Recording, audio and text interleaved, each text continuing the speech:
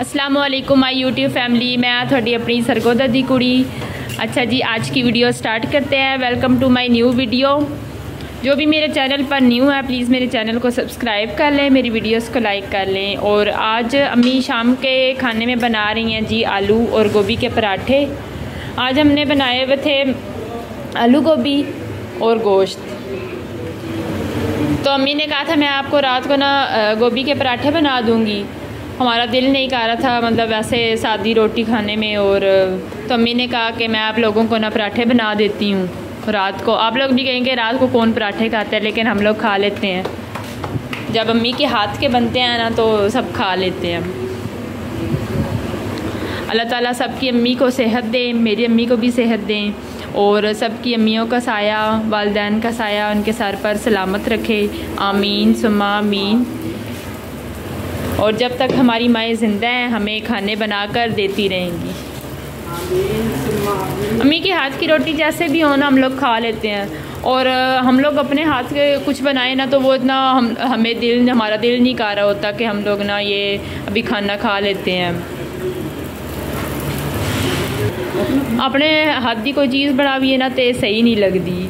और ना मतलब है, सही सन होता रहता है पता नहीं किन बनी है वे तो किन नहीं बनी लेकिन अम्मी के हाथ की ना हमें सही लगती है ये देखिए पराठा बहुत मज़े का लग रहा है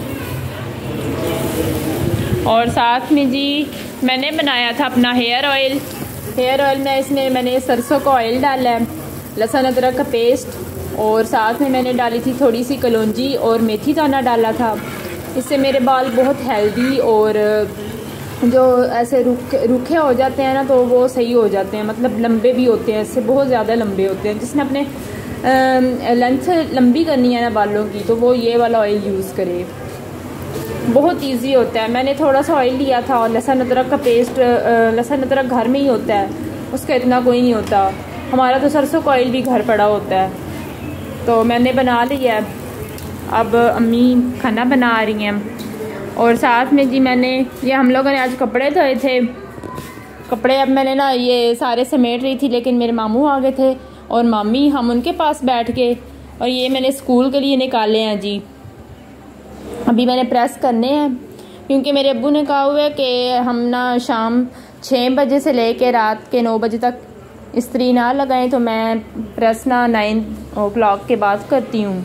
नौ बजे के बाद ये दुपट्टा है ये इसकी ट्राउज़र है। अभी ये प्रेस होगा तो फिर दिखाऊँगी आपको। और ये सारी ना कपड़े भी बहरा भी ना यहाँ से उठा लेते हैं। आज कपड़े धोए थे अम्मी ने। स्कूल से आके तो इतना टाइम नहीं मिलता ना तो बच्चे आ जाते हैं। मैं खुद भी थकी हुई होती हूँ स्कूल से आके मैं फिर थोड़ी देर रेस्ट करती हूँ। रेस्ट के बाद के बाद फिर बच्चे आ जाते हैं ट्यूशन वाले, वो साढ़े छः बजे जाते हैं। फिर मैं बर्तन धोती हूँ शाम वाले, चाय हम लोग बनाते हैं। तो उतना ही टाइम होता है दिन में। और ये आज अम्मी ने ली थे कंदूरे कंदूरियाँ ब्लू कलर में और रेड कलर में। घर में जो यूज़ करनी होती हैं, वो पहले वाली पुरानी हो गई थी तो अम्मी ने ये नहीं वो ली है जी।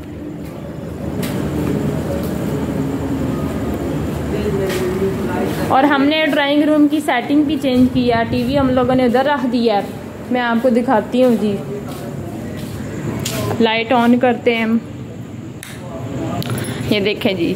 टीवी हमने बिल्कुल सामने रखा है। पहले ये छोटे रूम में होता था और जो दोनों हैं ना, छोटे पलंग, ये बेड जो होते हैं, ये हमने इसमें रख दिए हैं ड्राइंग रूम में। नीचे कालीन है। कालीन हमने एक दफ़ा धोई थी। बारिश आई थी ना पूरा हफ़्ता बारिश है हमने ऊपर ना इसको रख दिया था मतलब ना साफ़ होती रहे। और सोफ़ा वगैरह भी सारा हम लोगों ने ये सेटिंग सही की है। अब इन दोनों बेड के ऊपर हम लोगों ने मैट्रिक्स लेने हैं तो वो भी सही कर देंगे बाद में। और ये देखिए जी आ, आपको दिखाना था मेरे पाँव पे लगी है जी चोट। मैं स्कूल में गिरी थी पाँव पे आ, मेरे ना चोट लग गई थी। सीढ़ियों पर मेरा पाँव फिसल गया था तो ना वो, कहते नहीं, पाँव निकल गया या पता नहीं क्या होता है तो वो हो गया था। मैंने पट्टी बंधवाई हुई थी। आज मैंने इसको खोलनी है, दो दिन हो गए हैं। अब ये मैं खोलूँगी।